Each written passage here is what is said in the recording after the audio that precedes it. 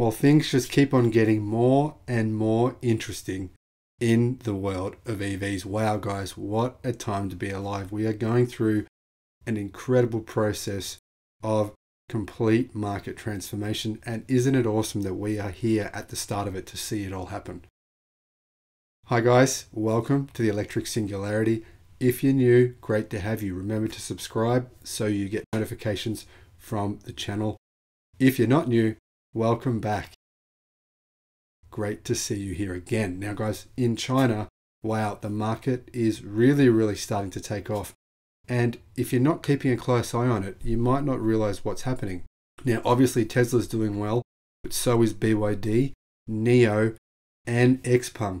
They're all absolutely crushing it and either tripling quad- or quadrupling their sales from this period last year. Now, obviously, Tesla is also doing very, very well. Even before it was released, Elon Musk predicted the Model Y would be Tesla's best selling car. Let's be honest, that wasn't hard to predict. So much so that it would likely outsell the Model S, Model 3, and the Model X combined. Now, obviously, Musk has also predicted the Tesla Model Y would become the highest selling car in the world. Whether that will happen, who knows? Possible. Now, Tesla's sales in China this May suggest that may be the case one day. It's possible. Who knows? As per recent figures released by the Chinese Passenger Car Association, CPCA, Tesla sold a total of 22,000 vehicles in China in May. Now, that number is comprised of 12,728 Model Y and 9,200 Model 3. This means that in May 2021, Tesla's all electric EV outsold its sedan sibling in the largest EV market in the world. Now, Tesla doesn't actually export the Model Y yet out of China because they have too much demand in China and they can't make enough of them. But they do export the Model 3. So the reason for the Model 3 not selling more is because 11,527 Model 3s that were made in China were exported worldwide. So they're doing very well, China, sorry, they're doing very well, Tesla, in China at the moment. Contrary to all the false media reports coming out recently, that obviously took it, really had an impact on Tesla's stock price in a way that was just truly ridiculous. The fact that it's legal to be able to be a short seller and then spread false news in the market and cap- capitalize on that false news is insane that we allow this to happen. Anyway, obviously, Tesla is doing well despite reports to the contrary. However, what about the other guys? Well, let's have a look at the sales charts here in China for EVs. Now, the top 15 models, number one was the SGMW Hongguang Mini, which sold an incredible 29,706. Now, guys, honestly, I personally believe if these guys, SGMW, if this joint venture, if they could build 100,000 of these a month, I think they would sell them. Let's be honest, 5,000 US dollars for this vehicle is insane. What an amazing, I mean, this is the really the brink of this point in history of transportation where we're looking at a period where, sure, it may not be relevant to you, but for 80% of the world, you're going to go from a, a situation where either you can maybe just afford a motorbike or just afford a an electric bicycle to now all of a sudden out comes this mini EV for 5,000 US dollars. Maybe you can just stretch and for the first time ever, you own a car. Exciting times, and it's such an such such an important car for the world. I've mentioned this in other videos. This is the most car, the most important car for the world. Anyway, good to see they're selling well. Number two in China, Tesla Model Y sold 12,728. Tesla Model 3 was number three with 9,208. That was down 17%, but obviously there was a lot Model 3s exported from China globally. Now, number four, was the Chang An Benben EV, sales of 8,370, which was an incredible increase of 355.4% year on year. So compared to May last year, it was nearly four times as many as they sold in May last year. That shows you where the market is going, doesn't it? Number five, GAC Aion S sold 6,752, and that was an increase of 73.5% year on year over May figures last year. Now, in isolation, if the figure sales went up 73.5%, you'd think, oh, that's fantastic. But because we're comparing this to other manufacturers who sold, in one instance, we'll get to it in a second, 10 times more EVs than they did last year. In fact, 18 times more EVs than they did last year. Crazy. So, in sixth place was the BYD Han EV. Now, I've heard that in China there is currently a long wait list for the Han EV. So, if you put your name down, you may have to wait three, four, five months even. So, apparently, BYD is struggling to build enough of these cars, which is a really good thing. There's huge demand for the Han EV, and for good reason. It's a really good looking car.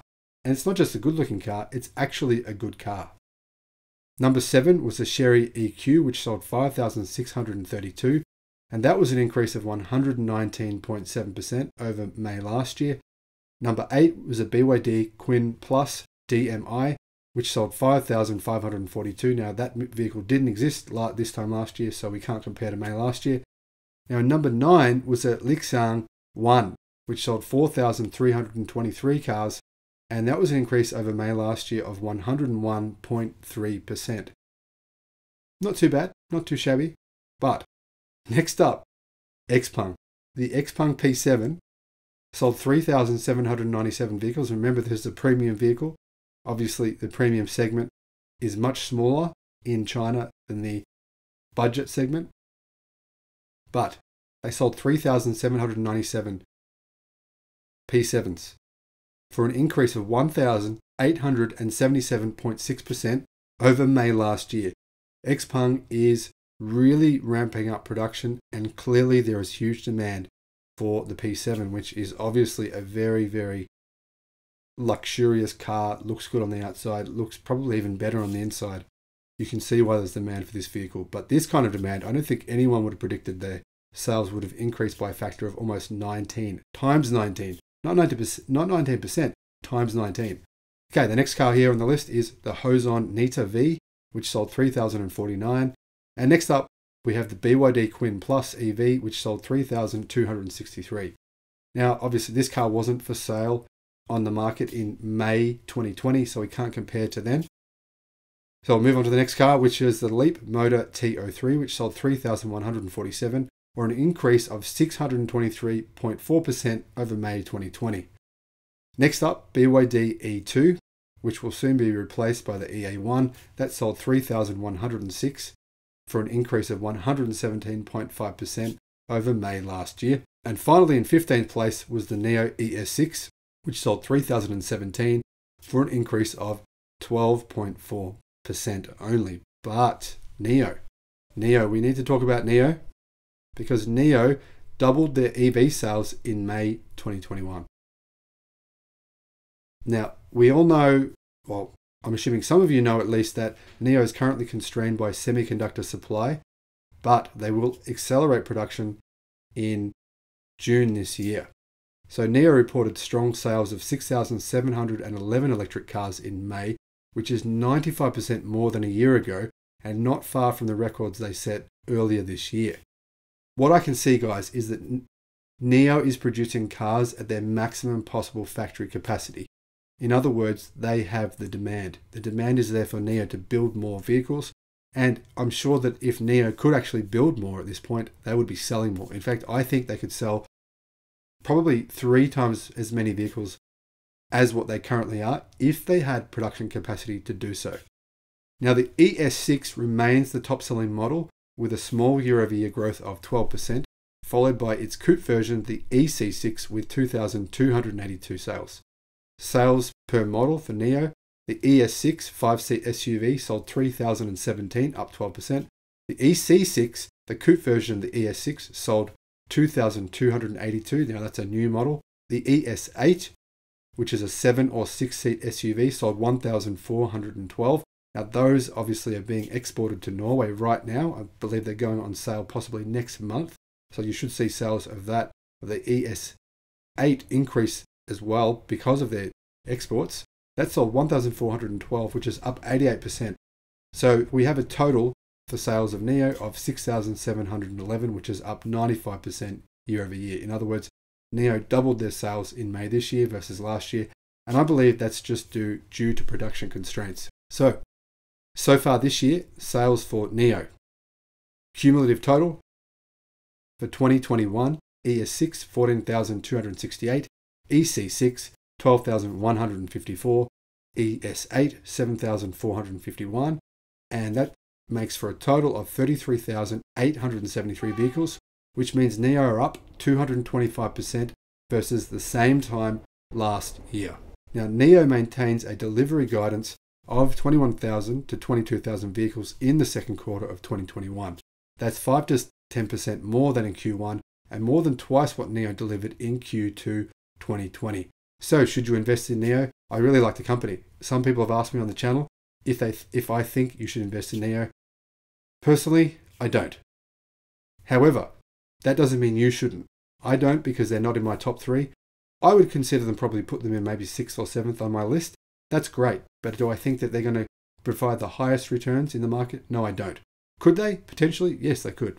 Now, guys, what about Xpeng? Xpeng are really doing some impressive things, and there's a lot of hype around the company for good reason right now.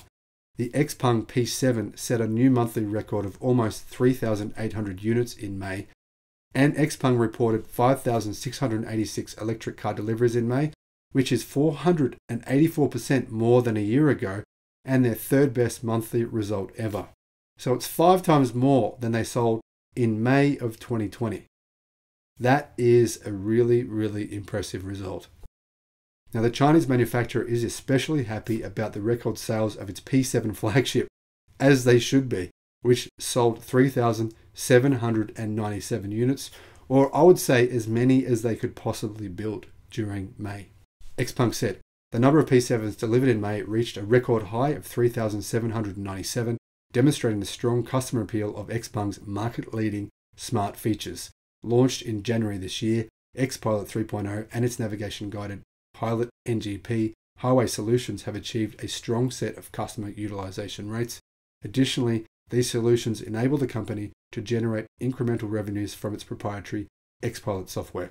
Now, the most important factors that drive the sale that drove the sales up were the new P7 Wing Edition and the lithium iron phosphate battery powered G3 and P7. Xpeng offers two models, the P7 and the G3. Xpeng P7 results, like I said, 3,797. Xpeng G P7 sales, sorry. Now the Xpeng G3 sales were 1,889, which were up 94% over last year. That means Xpeng sold a total of 5,686 for an increase, like I said, a 5x increase, 484%. Amazing. So, so far this year, Xpeng has sold 14,766 P7s and 9,407 G3s. That gives them a total sales, cumulative sales this year in 2021 of 24,173 or times four. So they've sold 427% more cars this year than they did last year. Guys, if we see the same doublings, now what about BYD? Well, BYD also did insanely well in May. Let's be honest. BYD published its sales figures and its share of EV sales grew to 71%. You can see it won't be long before BYD is electric and hybrid only, and then not long after that before they're electric only. BYD's sales figures in May of 2021 were 32,800 EVs and plug in hybrids, about a 190% increase over the same month last year. Now, BYD sold 18,711 EVs last month in May, 126% more than in May 2021. Now, guys, I'm hearing from people in China that BYD has huge demand and is actually struggling to meet demand right now. Now, I don't think it's they're struggling because of battery supply. I think they're struggling because of simply of just their ability to make a total vehicle. So if it were just coming down to them supplying more batteries for cars, I don't think that's the issue here. I think what I've heard the issue is BYD is having is that there's more demand for their cars than they expected there to be, and they just don't have the production line capacity right now to meet demand. Which is great news because that means BYD are just going to start ramping up factory production because they're confident that the sales demand is there. I'm sure you've heard of the chessboard analogy. If you haven't, Google it. How many grains of rice on a chessboard? If you double those number of grains of rice from the first square to the last square, 1, 2, 4, 8, 16, you'd be amazed at the, the actual result. It's more than trillions. So this is, this is what we're seeing right now. If we just see the sales of Xpeng NIO, Tesla, these companies continue to 5x, 4x, 3x, 10x. Crazy things are going on. This is such an exciting time to be alive. And you know what? I love working on this channel because there's never a dull day. There's always news of something, new models, new technology, more sales. Everything is changing for the better, guys. Thanks for watching the channel.